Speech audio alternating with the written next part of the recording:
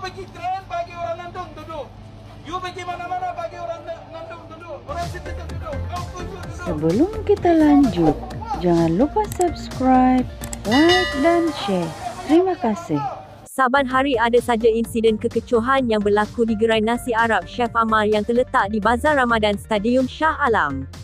Walaupun sebelum ini dikecam netizen kerana menjual makanan dengan harga terlabih tetapi nampaknya ramai yang sanggup beratur panjang untuk membeli juadah tersebut.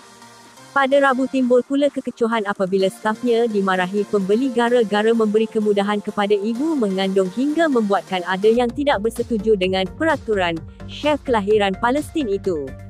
Susulan kekecohan berkenaan, seorang wanita yang mendakwa dia merupakan pelanggan yang dimaksudkan itu tampil memberi penjelasan. Bercakap kepada M-Star, Nur Aliyah Natasha Nasaruddin yang hamil 8 bulan berkata, dia bersama ibu bapanya bertolak dari Melaka dan tiba di Shah Alam sekitar pukul 12 tengah hari.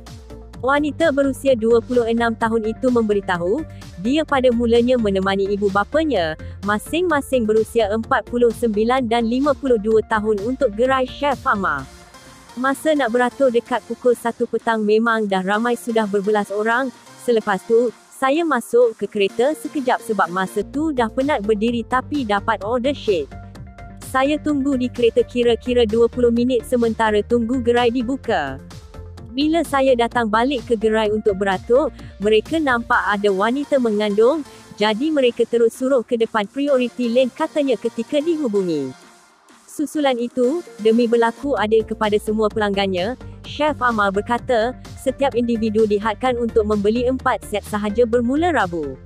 Terima Malam. kasih kerana klik Malam-malam video bila ini. saya balik dari kilang saya saya luluh ni surau.